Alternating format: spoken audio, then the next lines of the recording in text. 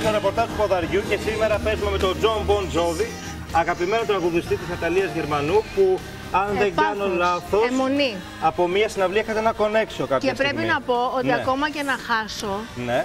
ε, δεν έχει σημασία γιατί το ότι τον, α, τον είδα αυτόν τον άνθρωπο τόσο κοντά το χρωστάω στο Θέμη, Ναι. ο οποίος πριν από δύο χρόνια μου έκανε δώρο γενεθλίων ε, ένα εισιτήριο ε, για τη συναυλία του στο Λονδίνο και ήταν το, δω- το δώρο, αλλά που ήμουνα τόσο κοντά, δηλαδή πιο κοντά από ό,τι βλέπεις ρε παιδί μου το ρέμο πρώτο τραπέζι Είναι σαν πίστα. να είσαι θέατρο και να είσαι ακριβώς κάτω από τη σκηνή σε, σε πιο θέση. κοντά. Και, Είχα- όταν, και όταν αυτός βγήκε, ε, άρχισα εγώ να, να ξεφωνίζω ε, σαν ρουβίτσα, ε, να ουρλιάζω I love you, John!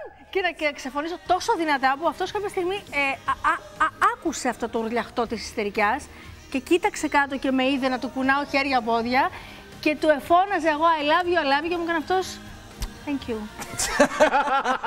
και δεν άκουσα Πόρτα. αυτό το thank you, thank you. Κιλόπιτα. Thank you. Και Παντρεμένος με- άνθρωπος, Και εντάξει. με κοίταξε, είχαμε δηλαδή eye contact. Eye contact φου- μόνο μία φορά, σε κοίταξε πολλές φορές. Με κοίταξε εδώ σου πολλές αρέσει. φορές. Δηλαδή σχεδόν τα φτιάξαμε ουσιαστικά, οπότε και να χάσω δεν πειράζει. Πρόσεξε, Ωραία. θα βλέπει η Ελεονόρα Μελέτη που είναι και αυτή φαν και θα στα βγάλει τα μαλάκια τρίχα-τρίχα Ναι. με αυτά που λες. Θυμίζω σε αυτό το σημείο ότι η Ναταλία Γερμανού παίζει με τη Μαρία από την Καβάλα.